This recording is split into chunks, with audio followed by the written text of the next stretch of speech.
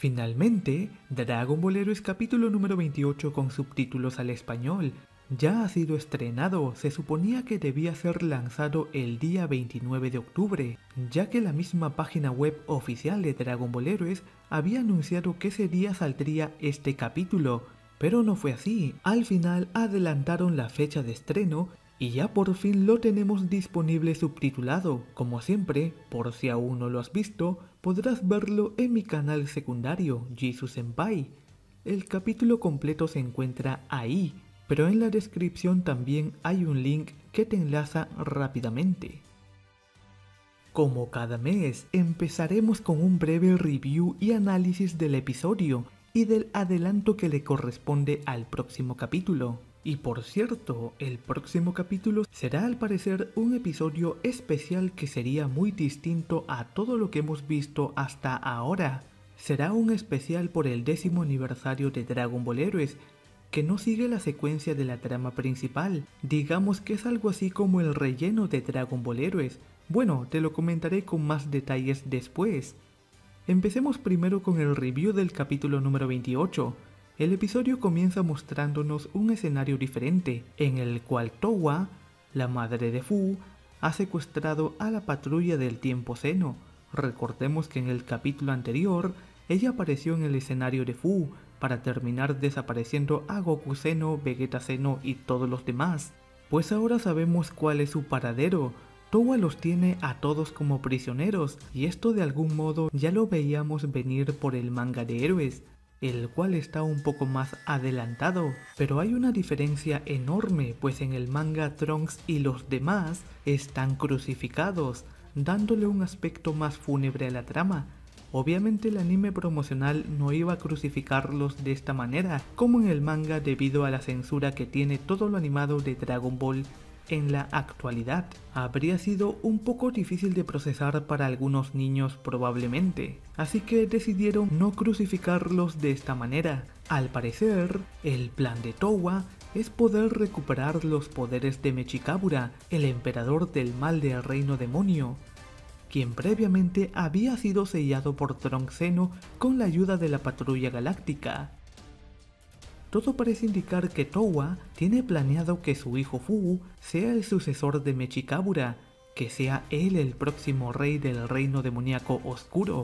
Más adelante veremos que el plan de Fu de crear un nuevo universo sería totalmente arruinado, ya que el árbol universal fue destruido, Así que ahora sabemos que el nuevo propósito de Fu, aparentemente, aunque él todavía no lo sepa, será convertirse en el próximo rey demonio. Goku Seno al escuchar el plan de Towa no piensa permitir que otro rey demonio aparezca en el universo, por lo tanto usa toda su fuerza y logra escaparse de la pequeña prisión que lo estaba atando, pero justo cuando trata de escapar completamente aparece Mira, el padre de Fu, ya previamente te había comentado que este personaje terminaría apareciendo. En el manga también apareció, aunque fue junto a Fu en lugar de Towa. Mira, apareció salvando a Fu en el manga, revelándole también que él y Towa son sus padres y que tienen planeado convertirlo en el próximo rey demonio. Imagino que esto sucederá en los próximos capítulos de Dragon Ball Heroes en el anime promocional, Mira también muestra que trae consigo a Gohan y Goten Seno, y al parecer amenaza de esta manera a Goku Seno con hacerle daño a sus hijos si éste no colabora con el propósito.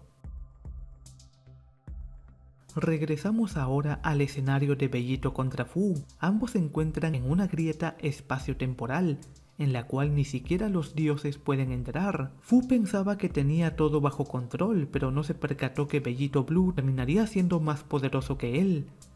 Fu explica que el Bellito de ahora es más poderoso que aquel Bellito que vimos en la prisión planetaria enfrentando a Kamba. Y el error de Fu fue creer que Goku y Vegeta no aumentarían sus poderes en todo este tiempo. La batalla está decidida, Bellito supera a Fu por muchísimo, pero el plan de Fu también es ganar algo de tiempo, ya que el árbol universal está a punto de estallar y con ello, según palabras de Fu, un universo sería destruido con el afán de crear uno nuevo completamente. Sin embargo, malas noticias para Fu, de repente el árbol pierde toda su vida, ha perdido sus frutos, se torna de un color grisáceo y todo el sueño de Fu de querer crear un universo nuevo se van al diablo.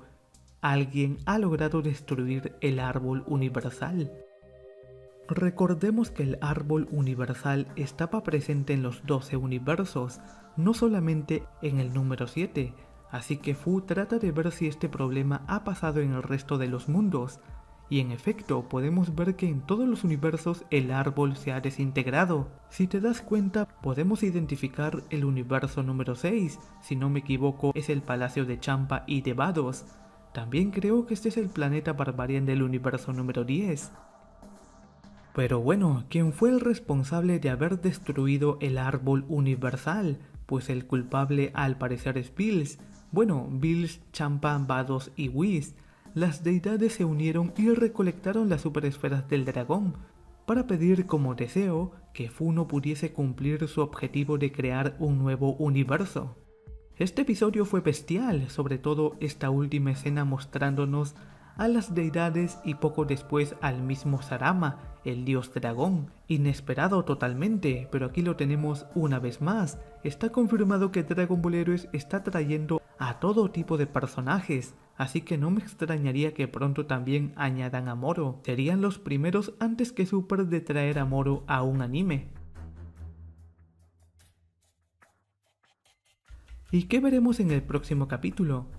Como les comentaba al inicio, este será un episodio especial que al parecer no estaría ligado a la trama principal, sino que sería una especie de relleno, pero conmemorando el décimo aniversario de Dragon Ball Heroes se sabe que será estrenado en el mes de noviembre y estará aparentemente enfocado en los avatares del videojuego. Sí, esos personajes que ves en pantalla serían los posibles protagonistas de este capítulo relleno especial.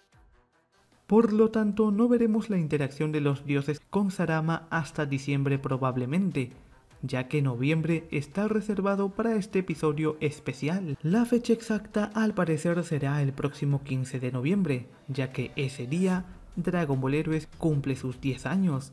Además, para celebrar esta década del videojuego arcade, se lanzará también una recopilación de temas musicales del videojuego y del anime promocional.